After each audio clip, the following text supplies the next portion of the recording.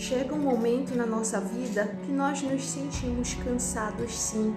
E de repente foi dessa forma que você chegou aqui cansado, na realidade exausto, né? Porque você já tentou de diversas vezes que essa situação fosse mudada, mas nada aconteceu.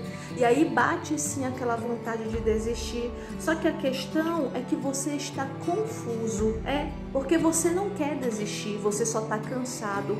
E é isso que te faz pensar em querer desistir, mas para um pouquinho, senta, respira, descansa mas não desiste. A tua vitória está chegando.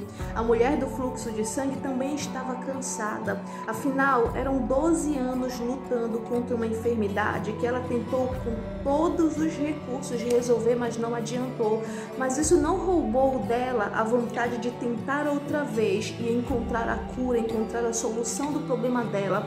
Então, mesmo cansada, ela insistiu. Mesmo exausta, ela continuou e ela alcançou a vitória dela. Então, tá cansado? Não, você não pode desistir. Para um pouquinho, senta, respira, descansa, mas levanta e bora pra luta. Tem muita vitória para você receber. Aquilo que você precisa e espera tá no seu continuar, tá na sua perseverança. Então levanta e reage, mas não para no meio do caminho. Em nome de Jesus, se você